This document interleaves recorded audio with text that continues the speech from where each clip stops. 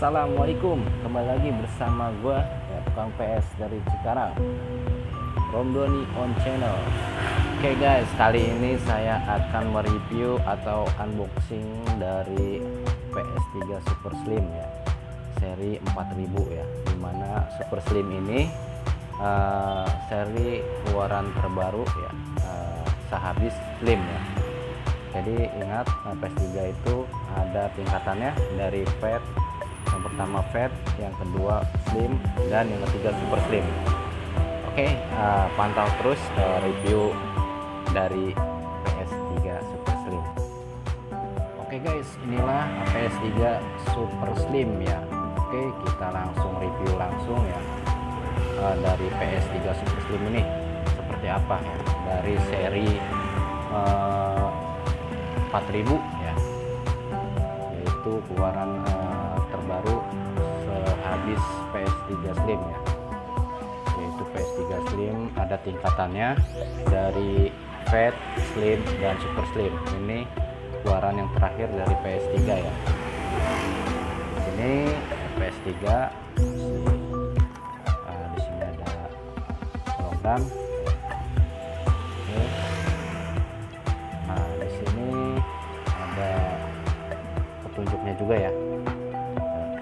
buka aja?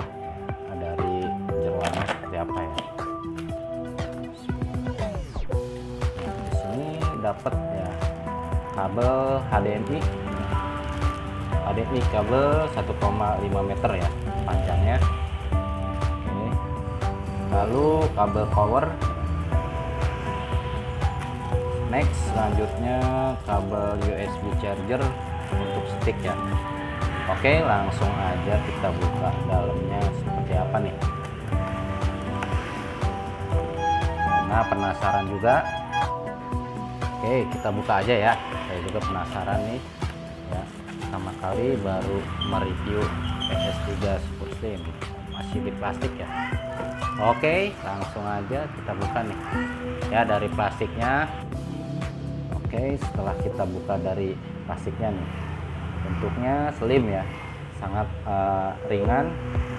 Ya, dibanding slim ya. Lebih tipis dimensinya pun lebih uh, langsing ya. Sini bisa memakai kaset atau disk Blu-ray ya. Atau BD Oke ya di sini kita lihat dari seri-serinya Oke, di sini seri 4200B ya. Dari PS3 Super Slim ini. Ya. Sini ada uh,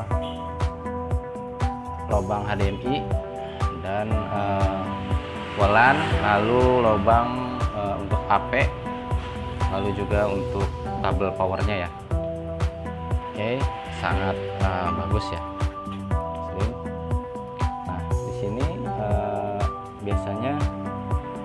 Injek ya. Tapi di sini memakai sistem uh, dari Han ya. Jadi kita lihat langsung aja nih seperti apa ya dari PS3 nya ya. Sini ada kabel USB ya. nanti kita isi dulu gamenya ya. Kemungkinan masih hanya beberapa aja gamenya. Oke, di sini kita lihat uh, apakah sudah Han ya versi 4.85 ya. Oke guys, uh, sekian ya uh, review atau unboxing dari PS3 Super Slim ya.